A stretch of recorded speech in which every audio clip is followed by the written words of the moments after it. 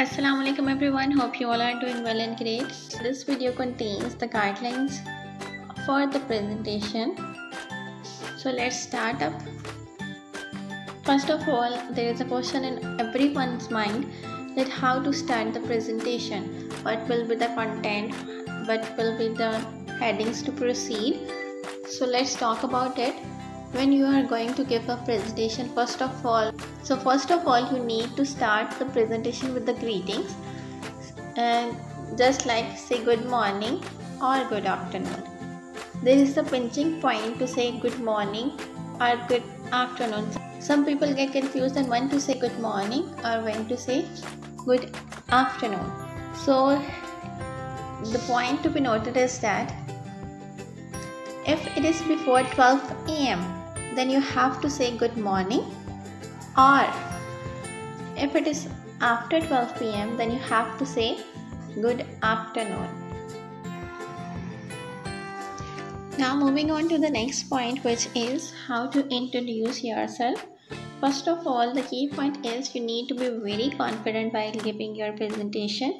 Have a sweet smile grab the attention of the audience make an eye contact these are the proper guidelines that you can follow to make a presentation good by itself as well. So first of all be confident. The confidence level will be checked completely throughout the presentation. First 30 seconds are very important. You need to be very confident while introducing yourself.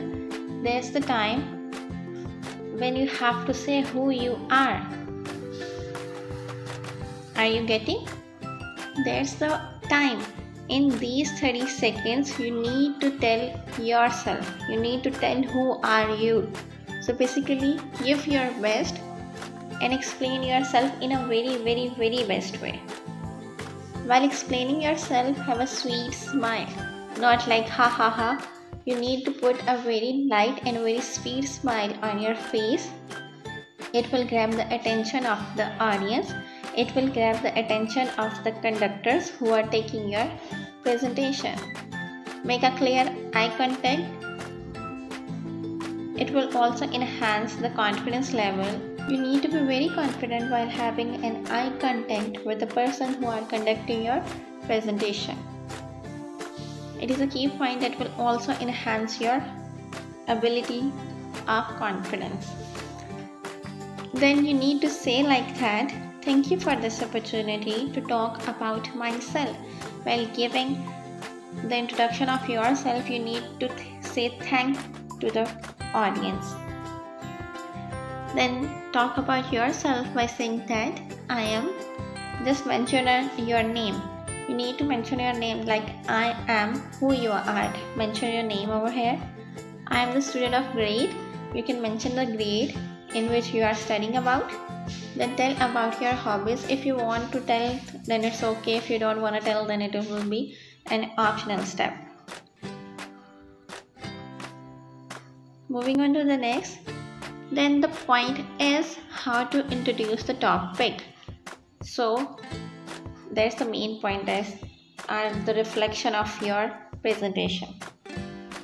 To say like that the topic of my presentation is dash if you are selecting the topic heat then you need to write at the top of the board the topic heat.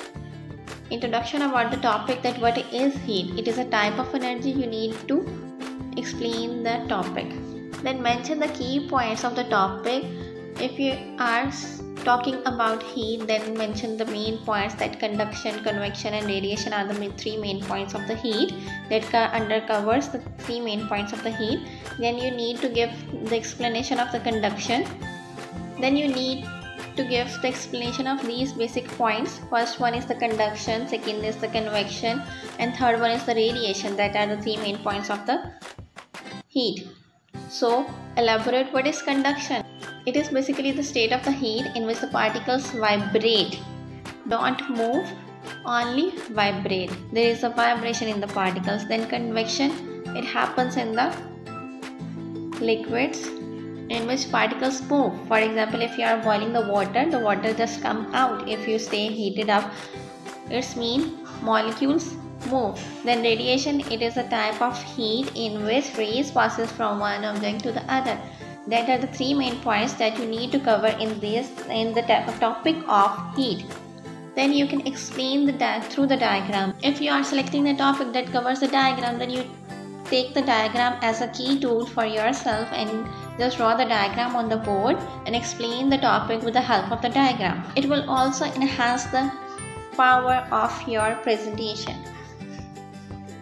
Then the main points that you need to remember is your presentation should be entirely in English. It will very good effect if you do your presentation in the English. The English shouldn't be very high. It must be medium English but try to give your presentation in English. It should be maximum 3 minutes or of minimum 2 minutes.